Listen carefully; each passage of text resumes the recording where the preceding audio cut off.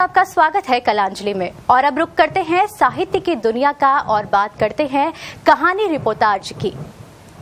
संवेदनशील और आंचलिक जीवन को कहानी और रिपोर्टाज के ज़रिए पेश करने वाले जोधपुर के कथाकार डॉक्टर सत्यनारायण की करीब 20 पुस्तकें प्रकाशित हो चुकी है। जीवन और लेखन में सादगी रखने वाले सत्यनारायण का कथ्य और शिल्प प्रभावी होते हैं। डॉक्टर सत्यनारायण से बात की हमारे सहयोगी चाँद मोहम्मद ने। प्रस्तुत है डॉक्टर सत्यनारायण से बातचीत। नमस्कार, मैं चाँद मोहम्मद आज हमारे साथ में है जोधपुर के वरिष्ठ साहित्यकार डॉक्टर सत्यनारायण। पिछले चार दशकों से लेखन से जुड़े डॉक्टर सत्यनारायण की अब तक 20 के करीब किताबें प्रकाशित हो चुकी है। देश की विभिन्न पत्र पत्रिकाओं में इनकी कहानियाँ, रिपोर्टाज, इनकी कविताएँ आदि प्रकाशित होती रहती हैं। आज हम डॉक्टर सत्यनारायण से बात करेंगे इनके लेखन के बारे में, साथ ही साहित्य और इनकी ज़िंदगी से जुड़े कुछ खास पहलुओं के बारे में। सत्यनारायण जी आपका बहुत बहुत स्वागत है। धन्यवाद आपका मुझे यहाँ बुलाया।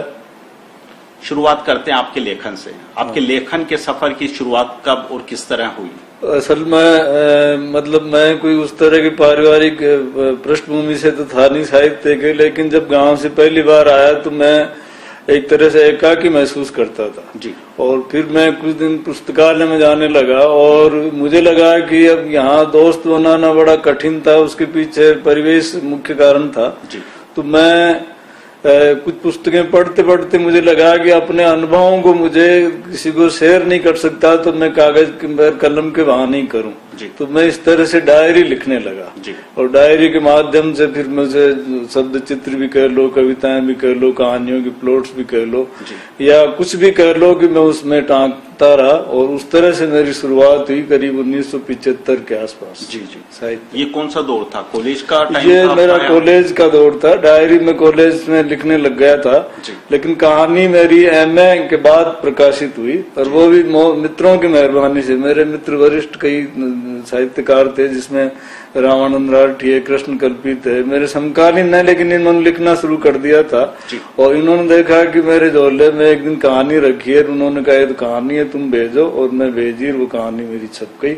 इस तरह से मेरी कहानी लेखन की शुरुआत हुई। वो पहली कहानी कौन सी थी जो आपके झोले में थी कहानी मेरी पहली थी कंधों पर लाश।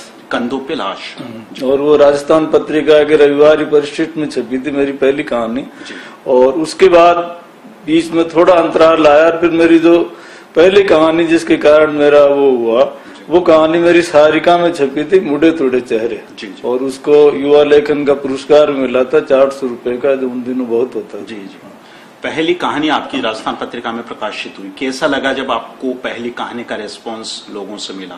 तो निश्चित रूप से मुझे बहुत अच्छा लगना ही था और मुझे तो अच्छा लगना ही था लेकिन मुझे ज़्यादा अच्छा ये भी लगा कि पाठकों की जो प्रतिक्रियाएँ आई जी जी। उससे मुझे लगा कि मेरे मैं भी कुछ लिख सकता हूँ। जी, जी। और फिर मुझे इस तरह से मेरी शुरुआत होती है। शुरू शुरू में आपने बताया डायरी आप लिखते थे तो डायरी में किस तरह के सब्जेक्ट आप टच करते थे? उसके बाद जो कहानी की तरफ़ बढ़े तो उसमें किस तरह के वो असल में मेरे जो दिनचर्या होती थी मतलब कह लो दिन में जो अनुभव होते थे कुछ अनुभव ऐसे होते थे जो मैं गाँव से आया था और मेरे लिए अलग तरह के अनुभव थे। जैसे एक उस तरह का अनुभव था कि मैं एक पिक्चर हॉल के सामने जाता कई बार।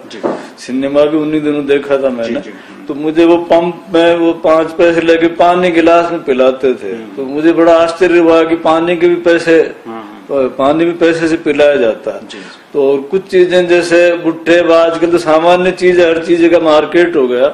तो खेतों के जो मक्का के भुट्टे वो मैंने बिकते हुए देखे तो मुझे आश्चर्य होता था क्योंकि गाँव में इस तरह का हमारे यहाँ परंपरा नहीं थी।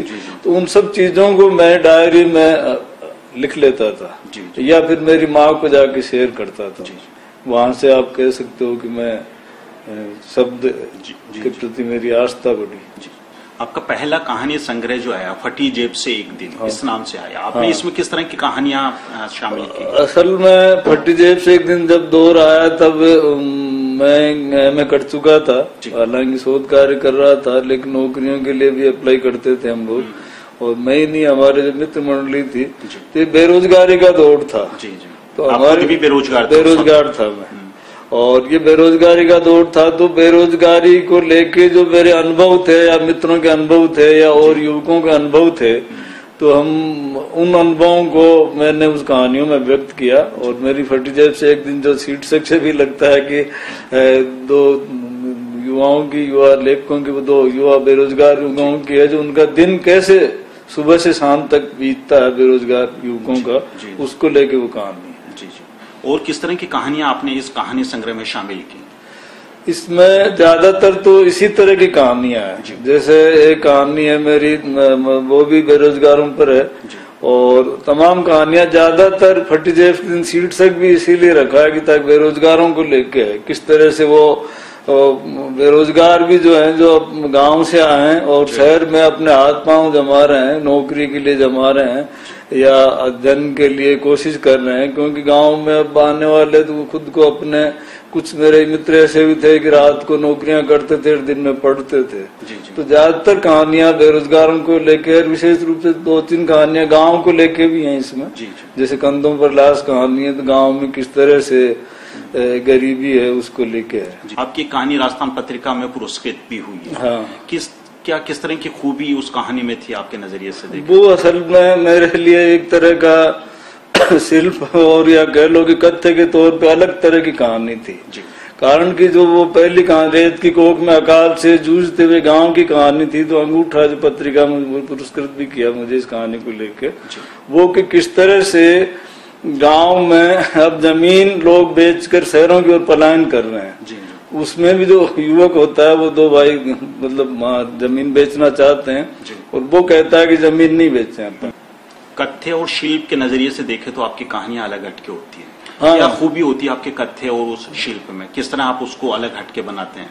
कथ्य तो अब जैसा कि हर लेखक का अपने अनुभव के अनुकूल अनुसार होता है। तो मेरा भी कथ्य मुझे ये लगता है कि जो बदल रहा है गाँव या शहर या युवक या हम जिस परिवेश में रह रहे हैं उसका किस तरह से है। और कथ्य तो ये मतलब शिल्प का मेरा ये रहता है कि मैं उस ज, ज, ज, जिस पात्र को घटता हूँ या जिस पात्र को अभिव्यक्त करता हूँ तो उसकी भाषा और परिवेश पूरी तरह अभिव्यक्त हो। मैं कोशिश करता हूँ कि उसकी भाषा को मेरे पात्रों के माध्यम से अभिव्यक्त करें ताकि ज़्यादा पाठ हूँ तक वो सही ढंग से प्रेषित हो सके। जी राजस्थानी के शब्द विशेष रूप से मेरे कहानियों में ज़्यादा होते हैं। रिपोर्टाज या कह लो कहानियों में जी जी ग्रामीण जीवन और बेरोजगारी के अलावा बात करें तो और किस तरह के कथानक आपने कहानियों में शामिल किए हैं? असल में ज़्यादातर तो इसी तरह के रहे लेकिन जब मेरा तीसरा संग्रह है सितंबर में हम्म। उसमें कुछ शहर को लेके भी कहानियाँ है मेरी कहानियों के तीन कथा संग्रह है और रिपोर्टाज आधा दर्जन के करीब प्रकाशित हो चुके आपने साहित्य की इस विधा को क्यों चुना? क्या ये मज़बूत विधा लगी आपके नज़रिए से? असल में क्या है कि मैं शुरू से ही मेरे लिए एक कहा जाता है कि यावर यावर यावर प्रवृत्ति का व्यक्ति रहा हूँ। मैंने नौकरियाँ भी खूब की हैं हम्म। और कई तरह की विभिन्न अनुभव मेरे रहे हैं।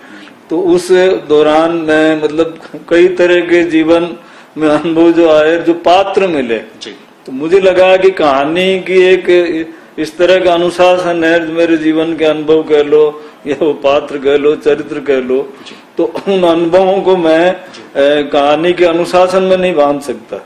इसीलिए मैंने क्या किया कि रिपोर्टाज विधा को अपनाया। जी जी। और असल में उसको आप रिपोर्टाज का भी इस रूप में जैसा कि अभी आपने एक सवाल पूछा था कथ्य और उसका शिल्प का। तो शिल्प मैंने रिपोर्टाज का जो प्रचलित शिल्प था उसको तोड़ा भी है। हम्म। मेरे एक आलोचक मित्र राजाराम बहादुर ने तो कहा भी गया ये रिपोर्टाज न होके एक तरह के कथा चित्र हैं तो मैं मैंने भी कहा कि हाँ ये कथा चित्र हो सकते हैं। क्योंकि कई बार ये भी होता है कि हम जो नया कर रहे होते हैं तो आलोचक के सामने एक चुनौती भी होती है। किन किन विषयों को या कहें कि किस तरह के किरदारों को आपने रिपोर्टाज में पेश किया? असल में इतने अनुभव हैं। जैसे मैं धौलपुर में रहा। धौलपुर में इस तरह के डांग क्षेत्र है वहाँ डकेतों का इलाका है वहाँ में खूब भटका उनको लेके भी है। और फुटपाथ रहने वाले चेहरे हैं। रिक्शा चालकों पे मैं एक बार अजमेर गया मैंने वहाँ जितने तरह के रिक्शे लोगों से मिला उनके अनुभव है बस कंडक्टर के अनुभव है। मेरा एक लंबी कहानी जैसे अभी आपने कहा रिपोर्ट आज भी है। एक ड्राइवर पर है मेरा। जी। एक ट्रक ड्राइवर के साथ में गया किस तरह की है। तो आप ये कह सकते हैं कि जीवन के करीब करीब कौन से ऐसे क्षेत्र नहीं है जो मैंने देखे नहीं हो। मतलब ये तो नहीं कह सकता कि मैंने सारे देख लिए हैं लेकिन मैंने जितने देखे हैं उनको मैंने इस विधा के माध्यम से अभिव्यक्त करने की कोशिश की है। और कथादेश एक पत्रिका है हिंदी की बड़ी पत्रिका साहित्यिक। 2001 में मैंने शुरू किए थे करीब आठ दस साल लगातार मैंने यावर की डायरी सीट तक से ये कॉलम लिखा था। जी जी। और पत्रिका में मैंने लिखा था सफरनामा फुटपाथ का जी। करीब राजस्थान पत्रिका में। तो ये फिर वो एक चल पड़ा मतलब साहित्य में ये रिपोर्ट था।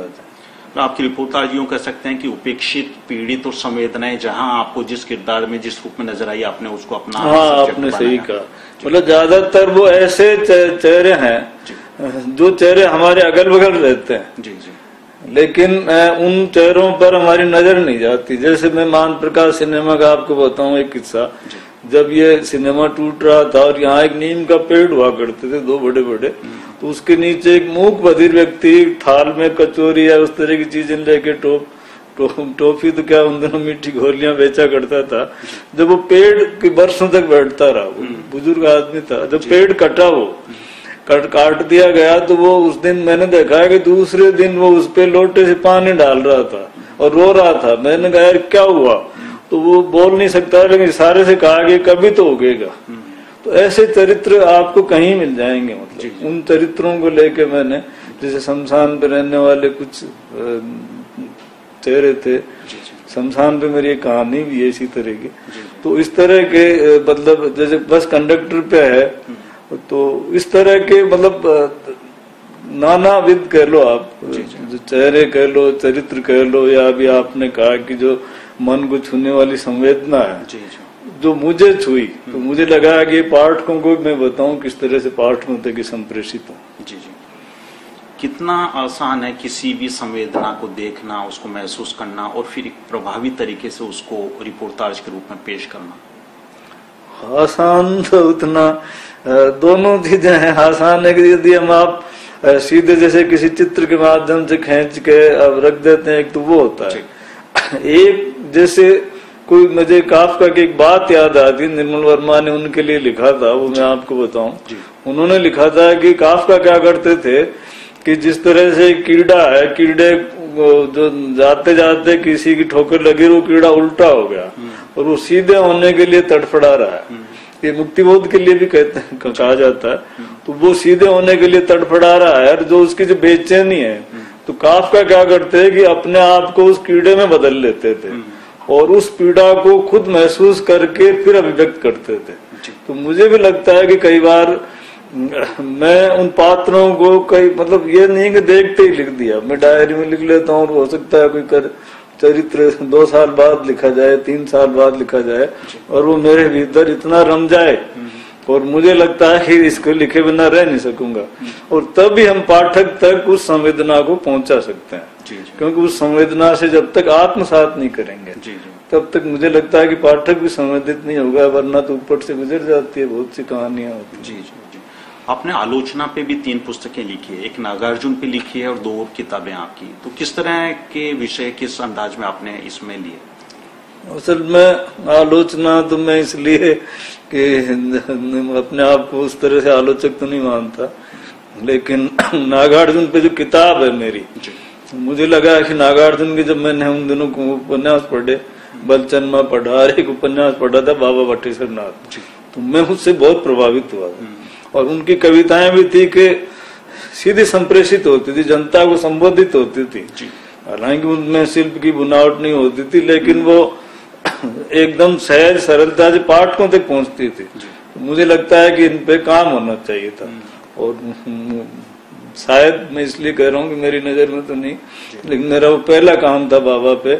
अब तो शायद सैकड़ों पीएचडी हो रही हैं और बाकी जो लिखे मैंने कुछ चीज़ें जैसे मुझे मलियज की डायरी पढ़ी तो मुझे बहुत प्रभावित की थी। जी।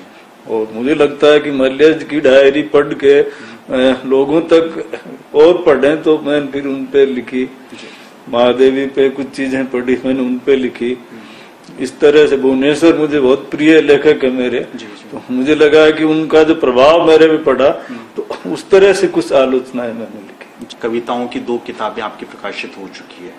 तो कविताओं में ज़्यादातर आपने प्रेम कविताओं को चुना प्रेम को बेस बनाया कविता का। तो क्या एक तरफ़ कहानियों में आप संवेदनशील विषयों को उठाते हैं दूसरी तरफ़ रिपोर्टाज है उसमें पीड़ित और उपेक्षित वर्ग को लेते हैं तीसरी तरफ़ जो ही कविता में आते हैं तो प्रेम की बातें करते हैं। ये आपका प्रेम कविताओं का प्रेम किस रूप में मैं, मैं मेरा लेखन जैसा कि अक्सर लोग कहते हैं कि तैयारी के साथ लिखते हैं। जी। मेरा सारा लेखन अनायास हुआ है। हम्म। मैं कोई बैठ के नहीं लिखता या फिर मैं कभी जैसे लोग एकांत चाहिए कुछ मेरे ज़्यादातर ये रिपोर्टर कहानियाँ बेरोजगार था उन दिनों बस में बैठ जाता था पीछे सीट पे बैठे बैठे मतलब उनको वो करता था।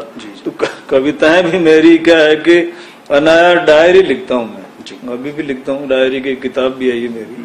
तो डायरी में वो कविताएँ मैं उन अनुभवों को अभिव्यक्त करता था मेरे मित्र को मैंने पढ़ाया, रघुनंदन त्रिवेदी कहानीकार थे, बहुत अच्छी कहानियाँ लिखी उन्होंने कहा कि इन कविताओं को तो आना चाहिए। आम लेखक आम लेखक से मतलब जो किसी खास विधा में नहीं लिखते। उनके लिए वो कौन सी विधा है जो कारगर साबित हो सकती है और उनके लिए एक प्रभावी विधा साबित हो सकती है? न वो कथाएँ लिखते हैं, न कहानियाँ लिखते हैं, न कविताएँ लिखते हैं, न रिपोर्टाज हाँ उनको लिखने का शौक है।